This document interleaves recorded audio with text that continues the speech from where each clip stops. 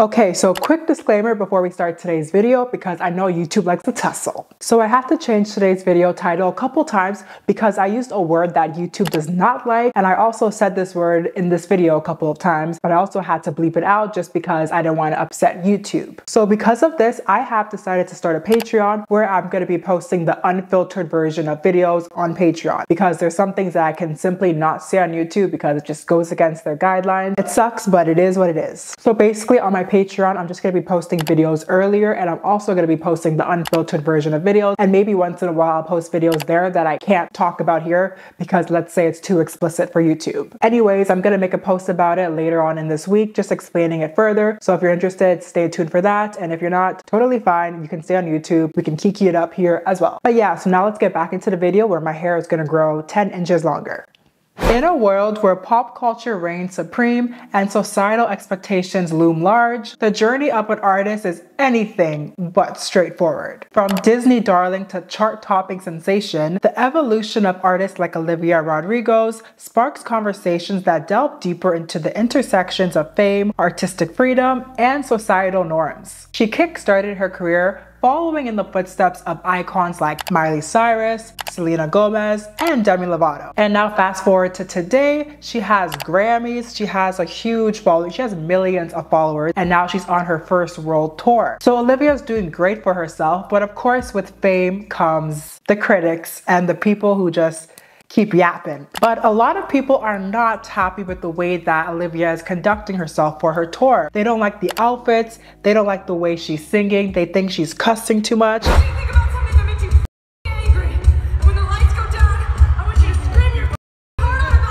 They don't like the way that she's presenting herself. She's not being a good role model to the children. Like, Olivia, think about the children. So this whole discourse with Olivia has inspired me to create today's video and has also inspired me to create a video talking about the phase. And I will elaborate on this further later in the video. But before any of you Olivia fans try to attack me, let me just make it clear I am not calling her watch the video and you'll know what I'm trying to say. Thank you very much. And also since I'm on YouTube, I don't think I can keep saying the word.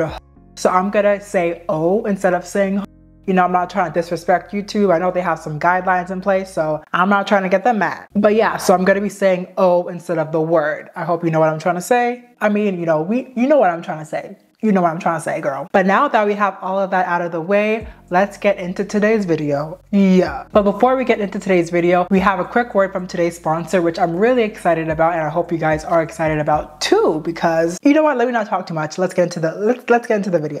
So I don't think I've ever mentioned this on this channel, but I am a university student and I'm gonna be graduating this year. And I should be excited because I won't have to take exams anymore. I won't have to write 12 page long essays. I won't have to wake up for 8 8 a.m. classes. But to be honest, I am so nervous to be officially done with school because this will be the first time in my life where I'm not in school and I don't know how to process that if I'm being honest. I mean, like I'm already an adult, but now it feels like I'm really an adult and I feel like I have to have my whole life figured out right now or else I'm gonna be a failure for the rest of my life. The pressure to have everything figured out right now has been taking a toll on me and I've honestly just been ignoring it, but every day is a day closer to the day I graduate, so I cannot keep ignoring it, unfortunately unfortunately. That's why I'm really happy today to introduce today's video sponsor, which is BetterHelp. BetterHelp is an online platform that connects you with a certified therapist who is equipped to listen and give you valuable, unbiased advice. And you can manage it all right from your phone or computer through video chatting, messaging, or phone calls. It's the simplest way to kickstart a conversation with a therapist. To get started, simply head over to their website using my link, betterhelp.com slash nksworld. And once you're there, you're gonna answer a few questions and BetterHelp will pair you with a seasoned professional who has years of experience with helping people battle similar struggles that you're going through. Allow BetterHelp to connect you with a therapist who can provide you with support all the way from the convenience of your home. And take advantage of a special discount on your first month using BetterHelp. Thank you to BetterHelp for sponsoring today's video, and now let's get into the video. Yeah.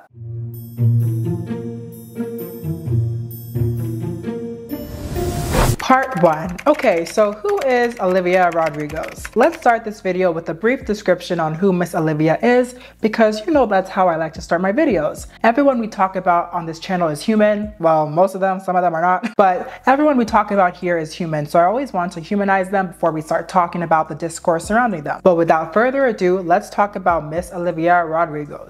Yeah, so Olivia Isabel Rodrigo entered the world February 20th, 2003 in Murrieta, California, before her family settled in Temecula? Girl, Temecula. Wait. Okay, before her family settled in Temecula, California. so her upbringing revolved around her parents. So her mother is Jennifer, she's a teacher, and her father is Chris, and he is a family and marriage therapist. So you know, like a typical suburban type family vibes nothing too crazy. And with a blend of German, Irish, and Filipino heritage from her mother and her father, Olivia proudly identifies as a biracial Filipino American. But despite her pride with her heritage, she has admitted previously that she struggled with accepting herself. She stated in an interview with Clash, me and my other more ethnic friends grew up in this world where we thought that being a white girl would be better and you'd be happier and people would like you more. And I felt this in my bones. I was like, girl, Olivia, I feel you. And I feel like a lot of us, like a lot of us who identify as a person of color, even though person of color is very broad, like we all have very different experiences. I feel like a lot of us had that perception of reality just because of the time you were born. I feel like it's better for younger kids nowadays because we're more diverse and we're more accepting of different races. But back in the day, Mm-mm. All of us wanted to be white. Um, okay, not all of us, but I think a good majority of us thought our lives would be better if we were white. I mean, I hope all of us are happy with who we are. I'm happy, Olivia seems happy, and I hope you're happy too.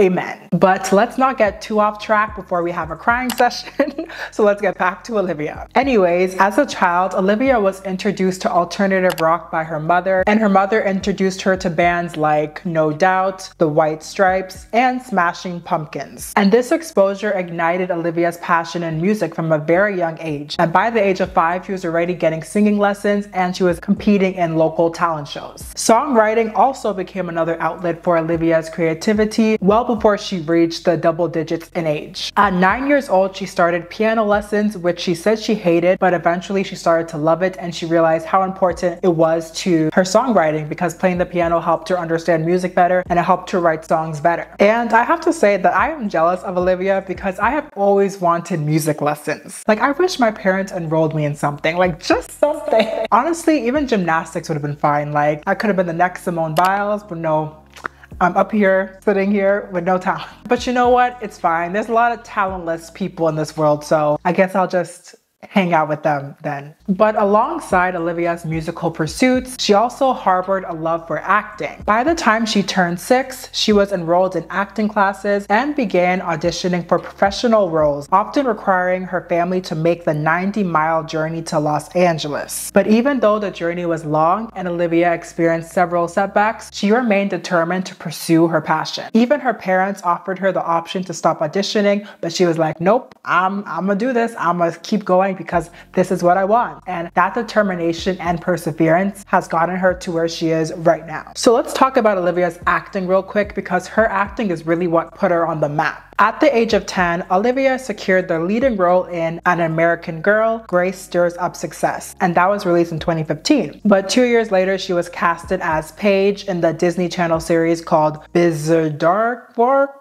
Bizaardvark Bizaardvark. I don't know how to pronounce that. I never watched the show, but I'll put the name up and you'll see how it's spelled. Anyways, Olivia started to really make a name for herself when she landed the role of Nini Roberts in High School Musical, the musical, the series. Why is the name so long? And this premiered in November 2019 and she was only 15 years old at this time. And while working on High School Musical, she continued to work on her songwriting skills. She wrote the song I Am More, which she shared on her Instagram, and this actually caught the attention of the show's producers who invited her to write a song for her character in the series, High School Musical. So she wrote the song All I Want for High School Musical, and it actually ended up becoming a standout hit for the show, and it even charted on the Billboard Billboard Hot 100 back in 2020, and it actually garnered attention from multiple record labels. But she ended up signing with Geffen Records instead of choosing the traditional route, which would have been to sign with Hollywood Records, because a lot of famous celebrities that were in Disney, they usually ended up signing with Hollywood Records before leaving Hollywood Records and then signing with a different label. By the way, Hollywood Records is the record label for Disney Channel. Anyways, the American producer Dan Nigro,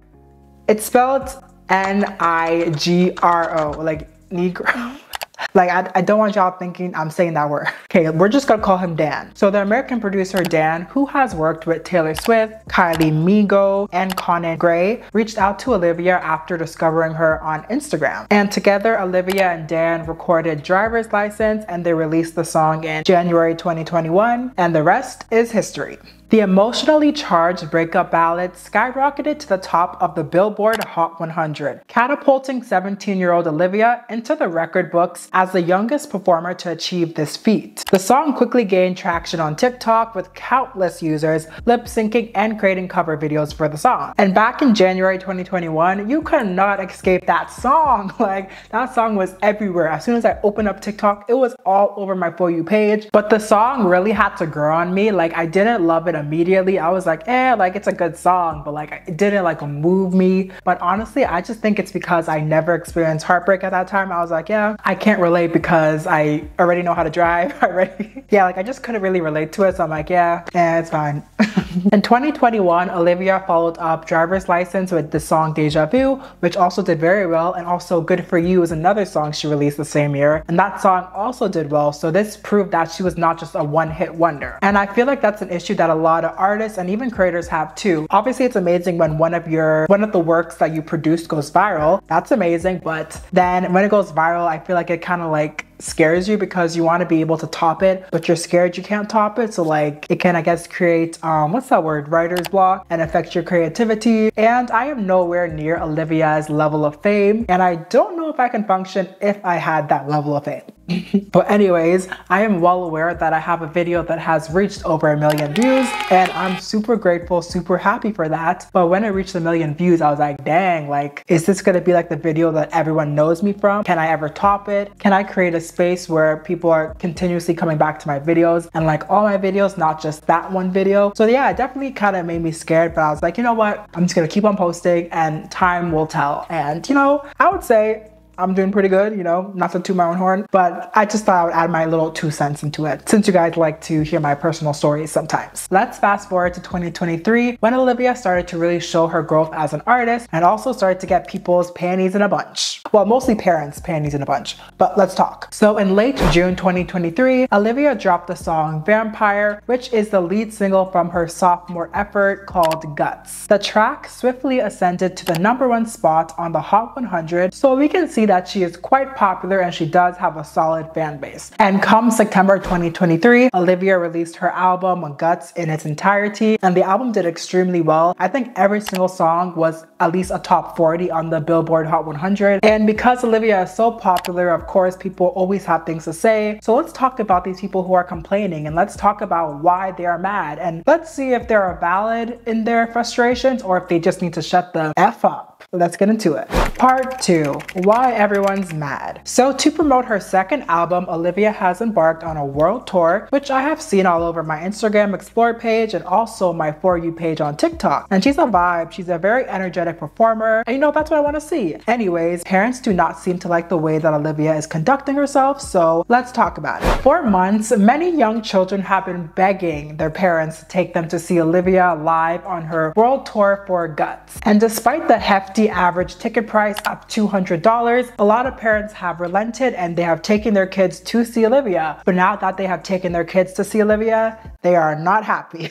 a lot of parents are realizing that the concert is not intended for kids and not made for kids, and now they're mad. So there are videos of Olivia on stage sticking out her tongue, which the parents do not seem to like. Her outfits also consist of very short rompers or short shorts and crop tops paired with tights or fishnets. And and also her dance moves, I guess one can say are inappropriate. But due to all the things I just mentioned right now, a lot of parents are mad at her because they're like, your audience is mostly young girls what are you doing? Like this is just completely inappropriate. So a lot of parents are just not messing with Olivia right now. And it seems like Olivia is going through the same trap that a lot of Disney stars have gone through, and basically all of them. First, the star comes out all young and innocent, and everyone's like, oh my god, like they're so cute, they're such good role models, they're perfect. But then they grow up and they leave Disney, and once they leave their show on Disney, they embark on their solo career. And because they are grown up, they want to explore their maturity through their music. So they have maybe cuss words in their songs now and they show their bodies more. And that makes people very uncomfortable and very mad because they want them to stay the same. They want them to be the perfect role model for their nine year old daughter. Like what's going on with Olivia is nothing new. We have seen this time and time and time again. However, this situation with Olivia underscores a concerning trend that has been exacerbated after the COVID 19 lockdown. And that is the trend of bringing really young kids to concerts. Taking young kids to concerts is totally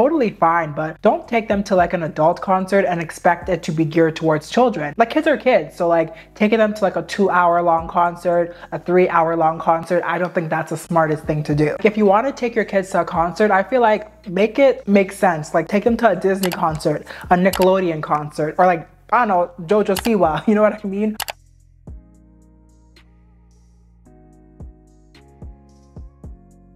Don't take them to like a Olivia Rodrigo's concert and expect them and expect the content to be geared towards them because Olivia is a 21 year old woman. Like why on earth would she want to be making content for nine year olds? Like yes, that's very possible. Some people do want to do that, but for the most part, a lot of 21 year olds don't want to do that. They do not want to be role models for nine year olds. Like this girl just became legal. She wants to have her fun. And I just want to show a video that a TikToker made because I wholeheartedly agree with her and I feel like she could not have said it better. So let's play her video real quick. Controversial opinion coming your way. Um, not all concerts are made for your nine year old.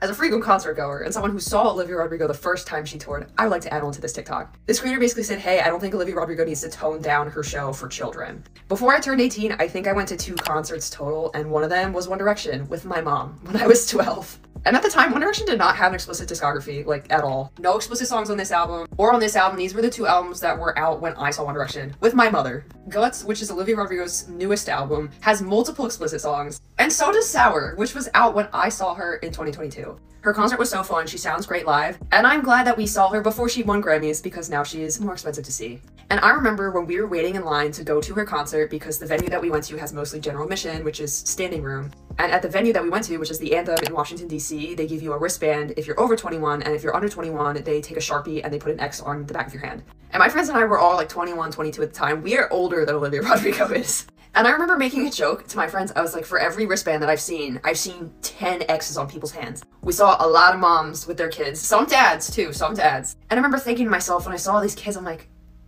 mm, I don't know if this is like the best concert for them.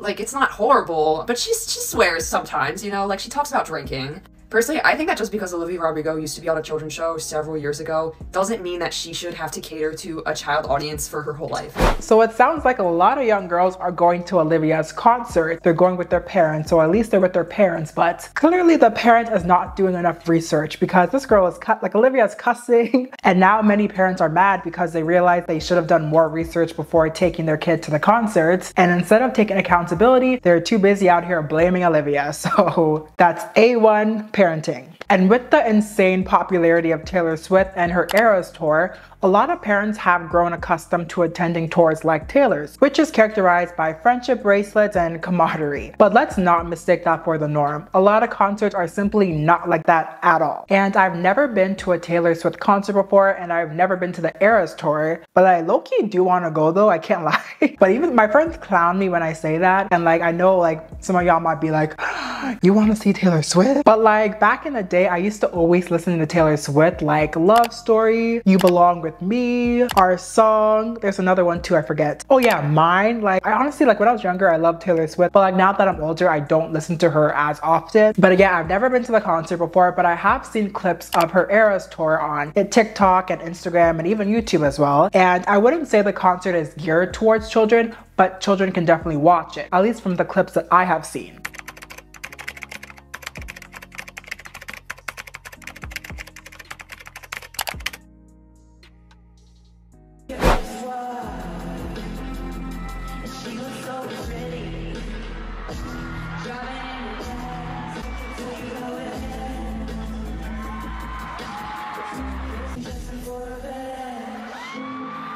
However, her concert is like three hours long. So I'm like, which kid is actually gonna sit through a three hour concert and like stay focused for that long? And what I've noticed is that a lot of parents do seem to compare Olivia to Taylor because Olivia has stated that Taylor is her idol and her inspiration. But we need to remember like these, they're two different people. And like I would say that Olivia resembles um, Hayley Williams from Paramount, Par Paramount, Paramore Paramore. what am I saying? I think it's Paramore. You guys know the band Paramore. I feel like Olivia replicates that energy more than she replicates Taylor Swift's energy. Anyways, the backlash from parents against Olivia's provocative dance moves serves as a reminder that most concerts are not tailored for young children, despite the evolving culture of live performances that may suggest otherwise. If an artist is not specifically made for children, do not expect to go to their concert and to have family-friendly concert vibes at the concert. Is common sense not common anymore? And can I mention that her dance moves are not even provocative at all? At least in my opinion, they're not. But maybe that's because I'm accustomed to so much worse.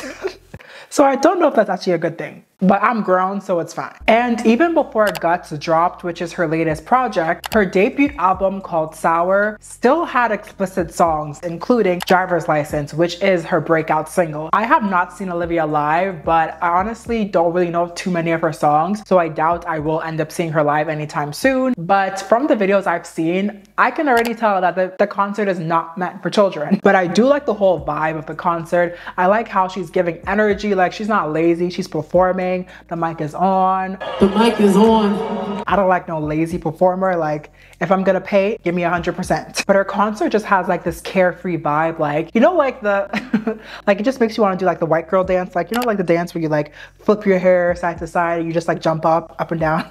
and I hope I'm not offending any white girls right now because I actually love the dance. Like, I feel like that dance is just like a freeing move. If you ever feel stressed, just put on, you know, what's the song? Unwritten by Natasha Bedingfield, Bedingfield. You know what I mean. Just put that song Unwritten by Natasha and just do the dance. Like you're gonna feel free and the stress is just gonna leave your body.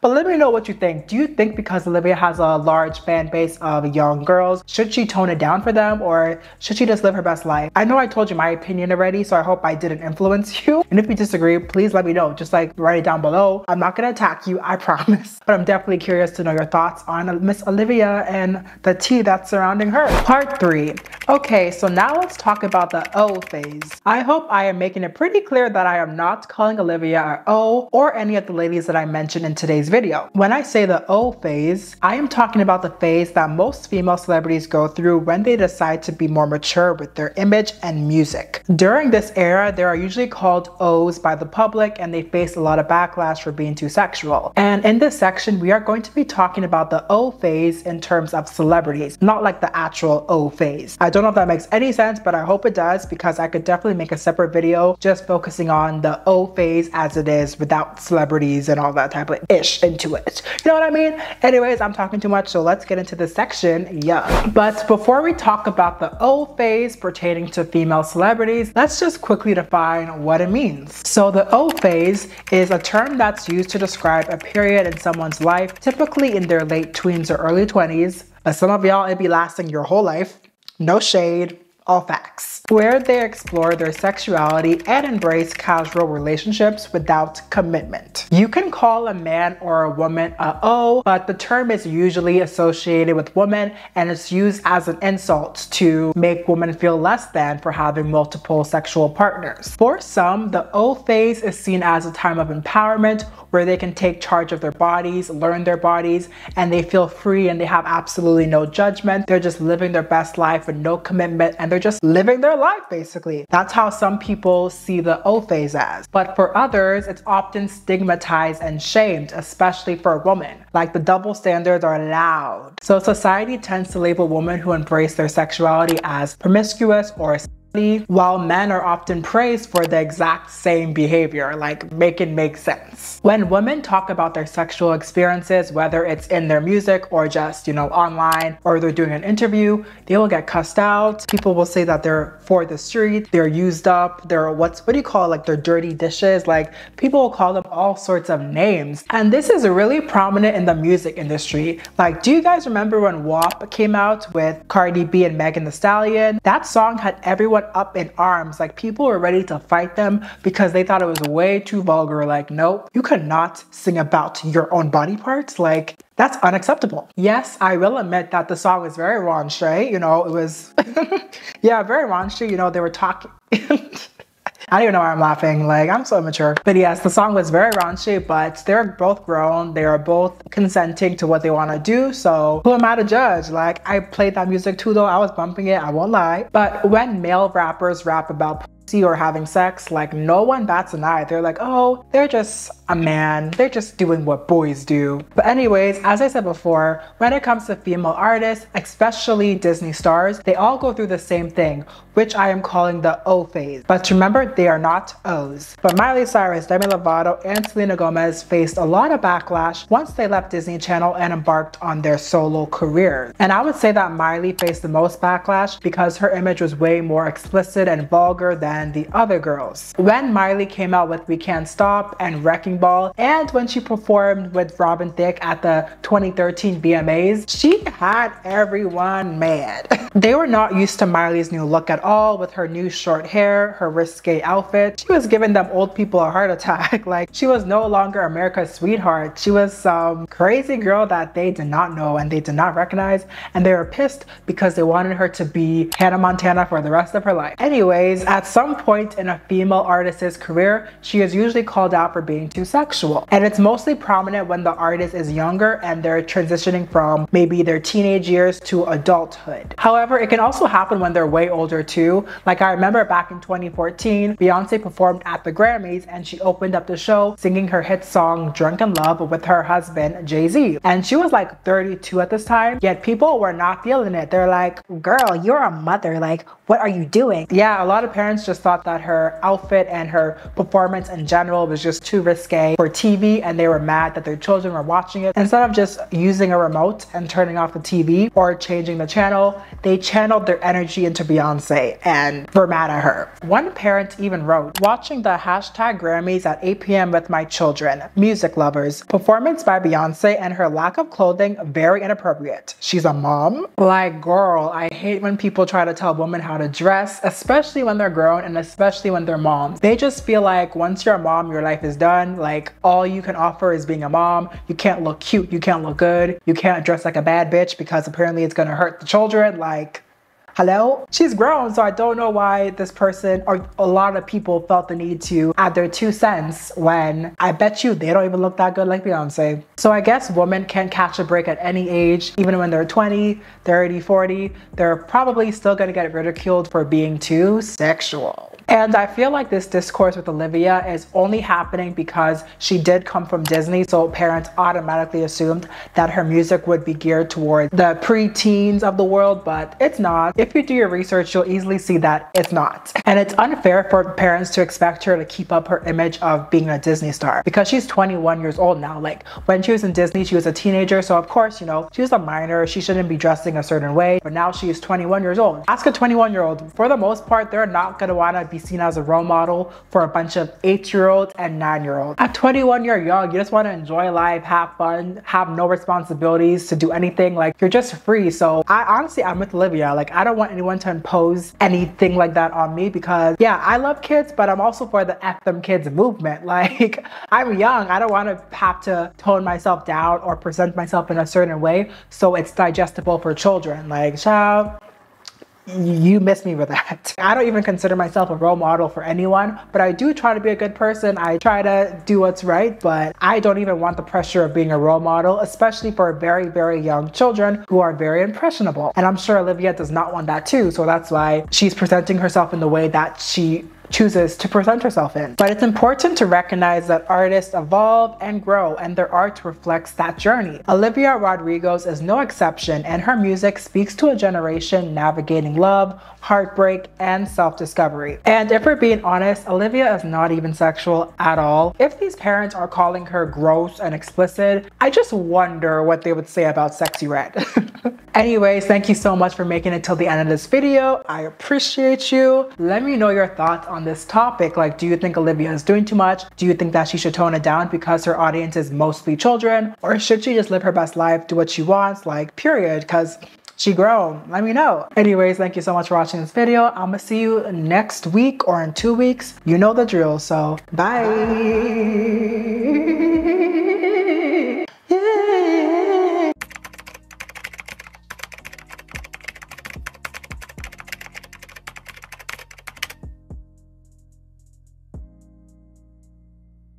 The backlash from parents against Olivia's provocative choreography. Girl, choreograph. Choreography. Choreography. The backlash from parents against Olivia's provocative choreograph choreography. Choreography.